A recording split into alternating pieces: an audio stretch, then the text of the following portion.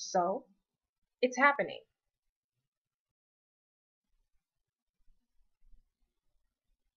We are currently living through the digital communication revolution.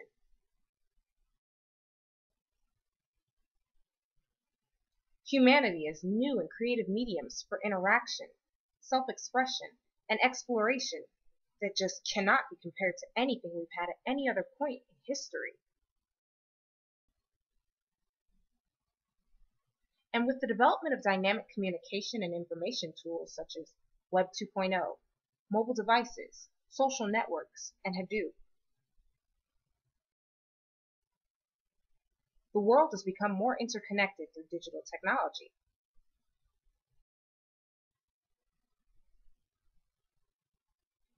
Individuals, businesses, and organizations have increasingly seen the value of analyzing and engaging their audiences with these tools.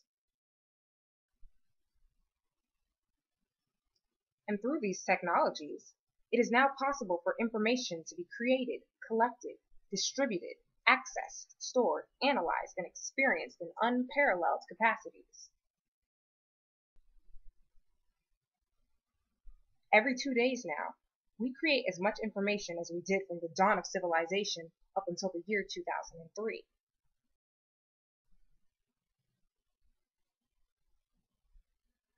And this information known as big data, is often produced through observation and analytic softwares used on the web and various Through the use of big data, marketers can access information about how to cater to their targeted groups.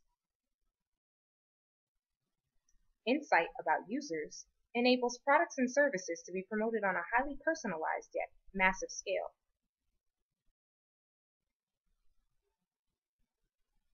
They also help to fuel innovations that lead to new services and business models that can support economic growth.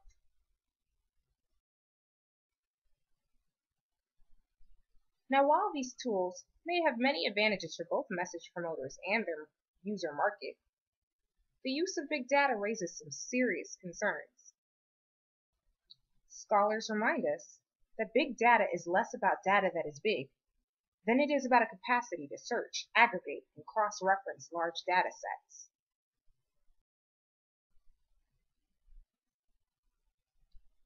Mankind not only has the ability to collect large amounts of data about individuals and collective groups, but more importantly, we have sophisticated and in-depth tools for making meaning.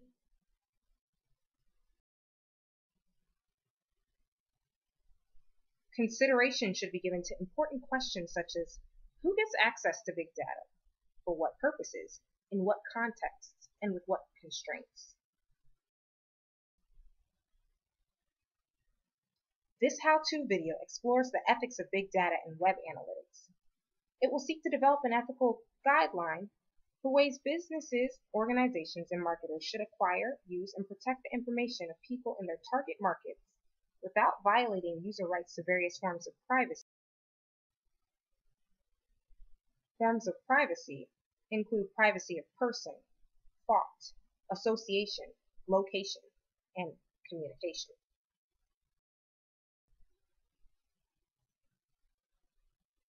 So the real question is, what's the big deal about big data? Why should businesses, organizations, and marketers be concerned about information privacy? Well, a prediction in the Financial Times suggests that through 2016, 25% of organizations using consumer data will face reputational damage due to inadequate understanding of information trust issues. Further, it states that 20% of chief information officers in regulated industries will lose their jobs for failing to implement discipline of information governments successfully. In other words, the unethical collection and use of markets data has a potential to hurt your brand and your business.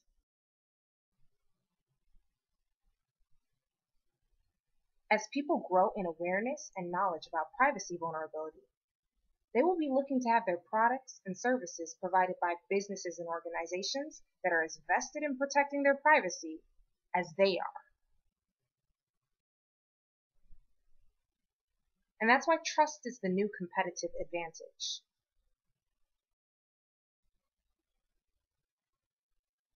Next, we need to determine what best practices and strategies can be used to maintain subject confidentiality and trust going forward. Leading international expert on information privacy law, Dr. Paul M. Schwartz from the Center of Information Policy Leadership, has developed some overarching requirements for information management.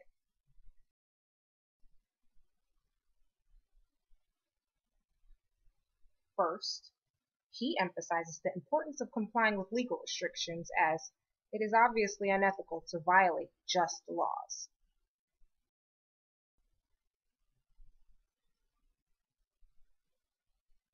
But going a step further, he also suggests that the use of analytics should reflect societal and cultural norms.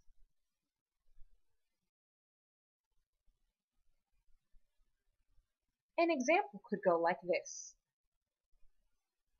If it's not socially acceptable to record someone's daily life or survey them without their permission or awareness, an online user's activities should not be collected or recorded without their permission or knowledge as well.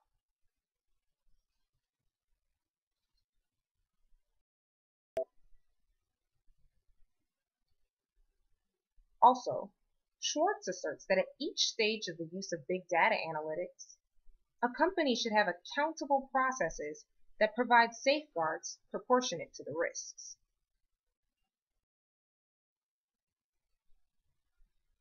As data accessibility increases, the chances of mishandling sensitive information increase as well. Before granting access, risk managers should ensure that internal policies and procedures on data usage are in place.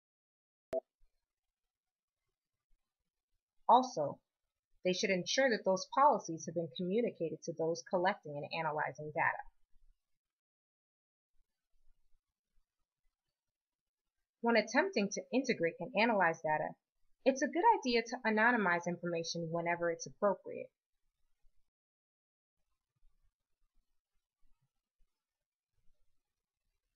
Also, make sure that you are using data that is accurate, complete, and up to date.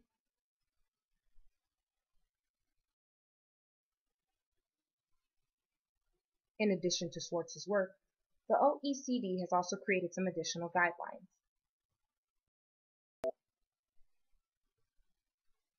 They also suggest that the data should be collected with the consent or awareness of the data subject.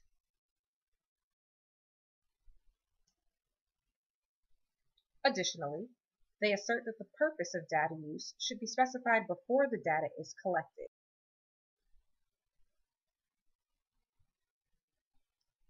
Also, the data's subsequent use should be limited to those initial specifications.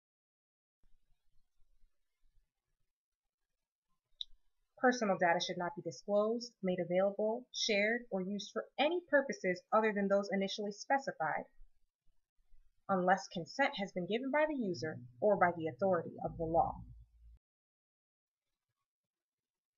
Finally, according to the OECD guidelines, there should be a general policy of openness about developments, practices, and policies relating to personal data. Transparency builds trust. Online users, audiences, and data subjects should have the right to know if data is being collected about them. They should also have the right to challenge false information about them and to have misinformation erased, rectified, completed, or changed. Companies should be transparent about that process and complete the requests within a timely manner.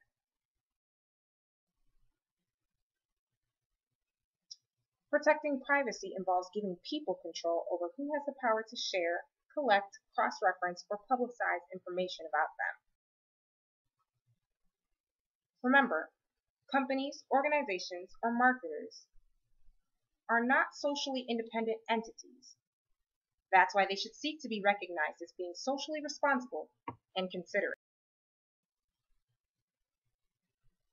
Those using big data should consider the interest of their stakeholders, which would include consumers, other businesses, NGOs, governments, and the larger public. Doing so will improve customer relations, build trust, prevent reputational damages, and potential legal liabilities. Remember, when we protect privacy, we don't just do it to protect our business interests, but we're protecting people. And that's a great thing to be a part of.